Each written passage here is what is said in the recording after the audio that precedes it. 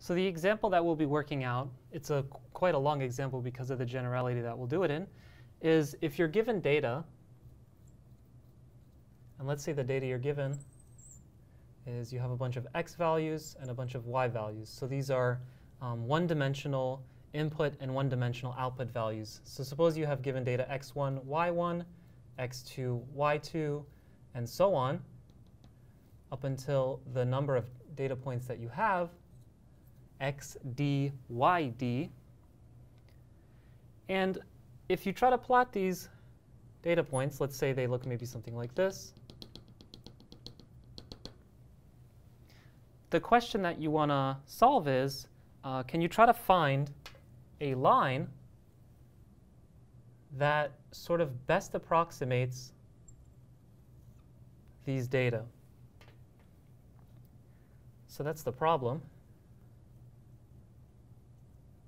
Is to find a best fit, whatever that means, straight line. Let's say of the form y equals mx plus b. Now, if we wanted to actually try to solve this problem, and suppose that all of these points actually lied on this line, we would want to solve this entire system. Now, m and b are our unknowns. We don't know the slope. We don't know the y-intercept. So we'd have y1. We want to set it equal to mx1 plus b. Similarly for y2, our second data point, mx2 plus b. And we keep going. yd equals mxd plus b. Now, in general, this is an over-constrained system because we have d equations, and if d is relatively large, in particular if it's bigger than 2, um, if it's relatively large, it's very unlikely for us to find a solution to this problem. We can rewrite this problem as a matrix equation by saying that we have the vector y, which is the vector of our data points. In fact, let me even write y as a column vector so let's write it like y1 all the way to yd. And if we notice this, our coefficients are always being added in a linear fashion. And the only thing that's changing is the value of x1. So you could actually write this as a d by 2 matrix acting on the vector mb. Now, what should this matrix be? We want it to satisfy the equation y1 equals mx1, so x1 has to go in this column, plus b times, what's the only thing that's going to leave b exactly where it is? The number 1. And the same thing here, if we had y2, we would want to write y2 equals m x2 plus 1 times b, and so on all the way down to xd and 1.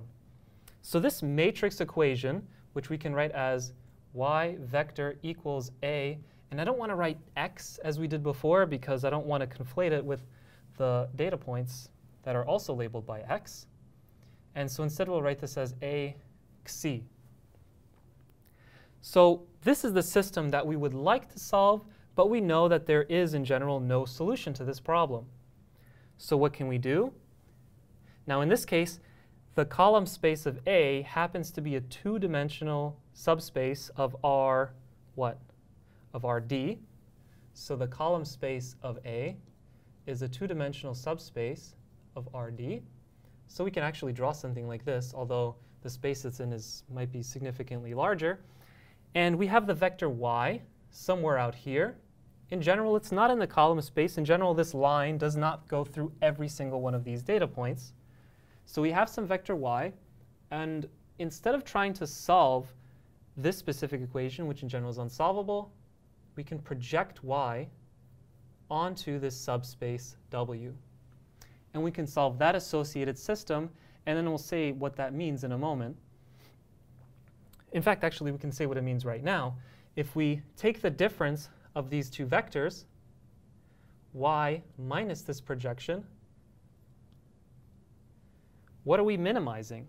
So an arbitrary vector in this subspace, let's write W as an arbitrary vector in the subspace is a linear combination of these columns. So let's write that linear combination as M, suggestively, AE1, which is the first column of A, which is just all of these x data points, plus B times the second column of A. And we want to minimize the distance between our data set, our data vector y, with this vector. So in other words, if we take this difference, let's, let's replace this with w for now, because let's imagine we don't yet know that this is the projection. Um, so this difference is trying to minimize y minus m ae1 um, plus b ae2. And if we look at what each of these components give you, then this equals, let's square this, just so we don't have to deal with square roots. Then this is the sum. So first let's take an arbitrary ith component here. It's yi minus m times xi plus b.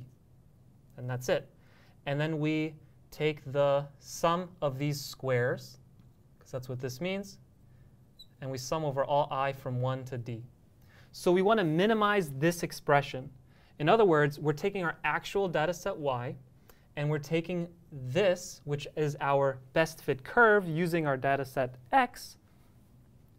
And so we're trying to minimize all of these distances.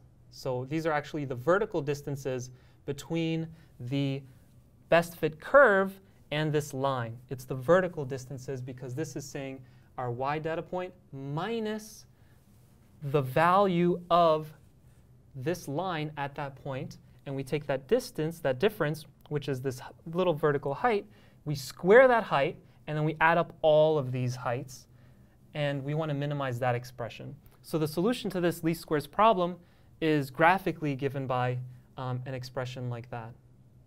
And we know how to solve this. To solve this, we apply our previous theorem.